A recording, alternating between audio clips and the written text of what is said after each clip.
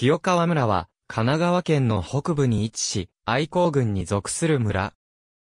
神奈川県唯一の村である。人口は約3000人で、県内自治体で最も人口が少ない。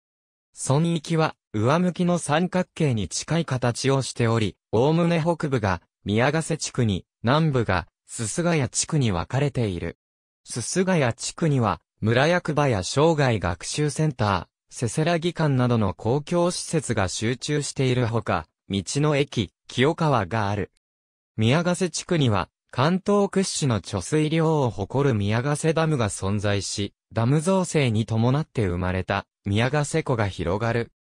宮ヶ瀬ダム建設によりその大部分が水没した宮ヶ瀬地区の住民の多くは、代替地として同村が隣接する厚木市に整備した宮の里地区に移住している。なお隣接する道郡相川町とは合併構想もあった。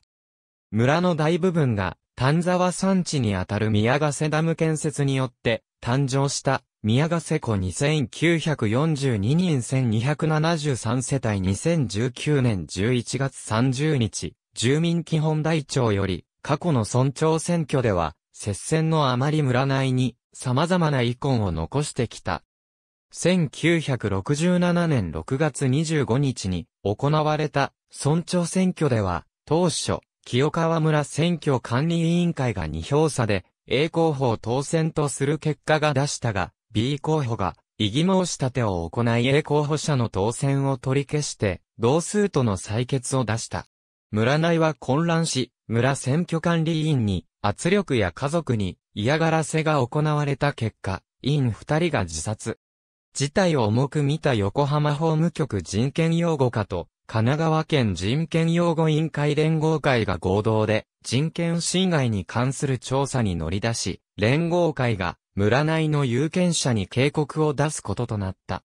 選挙結果については、同年8月30日、神奈川県選挙管理委員会が村選挙委員会の採決を取り消し、改めて B 候補が3秒差で当選とする採決を出した。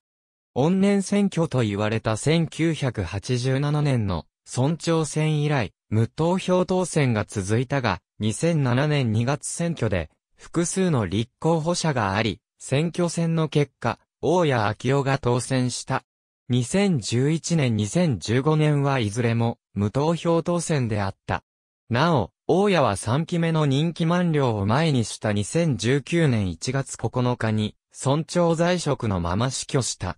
その後2019年2月17日に行われた、大谷昭夫村長の死去に伴う選挙において、元村教育長の岩沢義美が、無投票選挙により当選した。任期は、平成29年5月1日令和3年4月30日。令和3年4月18日に、村議会議員選挙が実施される。次回の議会より定数が10人から8人に変更された。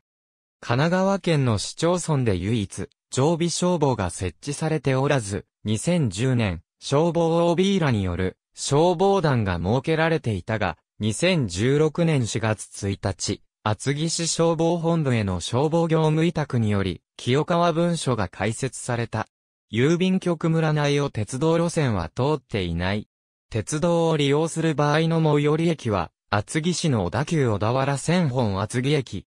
ソニエバス、夢バスで使用されていた車両かつては、ソニエバス、夢バスが、上須菅谷尾崎、神奈川リハビリ森の里中学校間に運行されていたが、廃止されている。神奈川中央交通厚木営業所に運行委託していた。県道神奈川県道64号線の大棚沢橋村道林道宮ヶ瀬湖クリスマスツリー。ありがとうございます。